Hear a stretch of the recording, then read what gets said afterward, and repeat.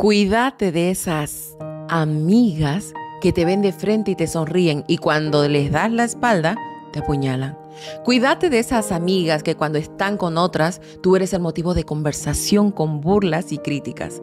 Cuídate de esas amigas que sienten celos de ti, hablan mal de ti con tal de quedar bien con alguien más. Ten mucho cuidado de esas amigas que te dejan de hablar y hacen sus mejores amigas a tus enemigas. Las amigas de ahora son contadas. La mayoría son envidiosas e hipócritas. Recuerda, es mejor tener una sola amistad que valga oro que un montón de envidiosas. Cuídate de las falsas amistades porque en este mundo están por todas partes. Son esas personas que te sonríen a la cara, que parecen ser tus amigas, pero a tus espaldas no dudan en hablar de ti. No te mereces estar rodeada de gente así, que no valora quién eres ni lo que tienes para ofrecer. Es importante aprender a reconocer a esas personas que, en lugar de sumarte, solo restan en tu vida. Ya lo diste todo por todos. Y ahora es hora de entregarlo todo por ti. ¿Cuántos litros de sangre, sudor y lágrimas ya vertiste para solucionar problemas ajenos? Ya le diste tu tiempo a tus hijos, a tu pareja, a tus padres, a tu trabajo, a tu jefe, a tus estudios, a tus amigas, hasta a otras parientes. Y la verdad es que muchos de ellos no les importó. Ahora es tu tiempo, mímate, come rico, date gustos, permítete consentirte, date de verdad lo que te mereces, regálate lo que te gusta, lo que te importe a ti y para ti. Estás viva y estás sana y eso es una lotería, eso es una suerte, es un milagro. Algo has hecho bien, puedes hablar, pensar, reír, abrazar y besar. Hazlo, que nada te ataje. ¿Qué estás esperando? No te guardes nada para más tarde. La vida es aquí, la vida es ahora. Que te importe un comino las personas que te hicieron daño. Total, ya están muertas para ti. Este es tu tiempo, este es tu momento, ahora te toca a ti.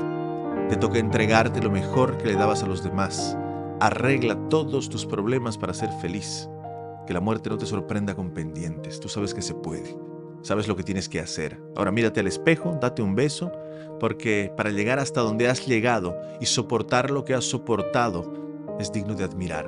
Date un abrazo porque tú eres la única persona que te va a acompañar y lo va a hacer por el resto de tu vida. Tú ya diste todo por todos. Ya pasaste por esos momentos donde te preocupabas por todas las personas a tu alrededor Viviste esos momentos en los que tenías que entregarlo todo para sentirte importante en la vida de los demás. Es hora de dejar eso atrás y seguir adelante. Tienes que darlo todo por ti. Tienes que entregarte completamente para ser feliz estando aún sola. Busca esa dicha de tener paz sin preocuparte de los problemas ajenos. Ya no te metas en la vida de los otros. Muchas veces te hicieron sentir que eras incluso un estorbo para ellos y nada más.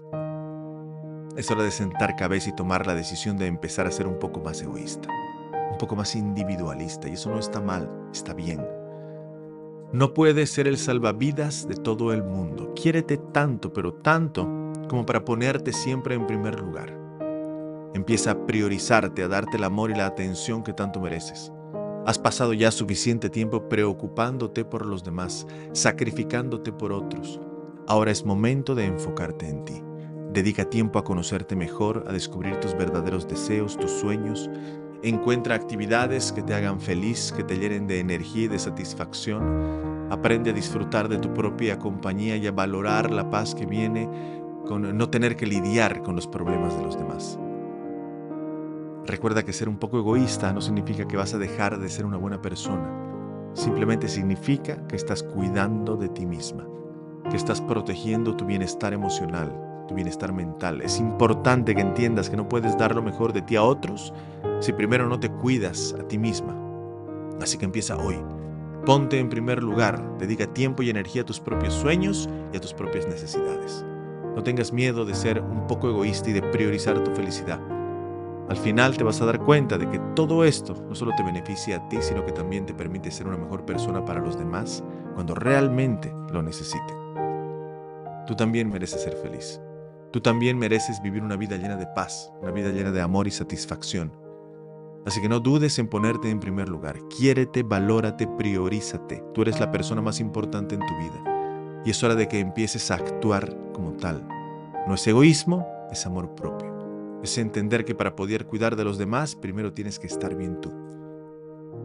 Es momento de que dediques tiempo, de que te des la oportunidad de crecer y de ser feliz. Ya diste mucho por los demás.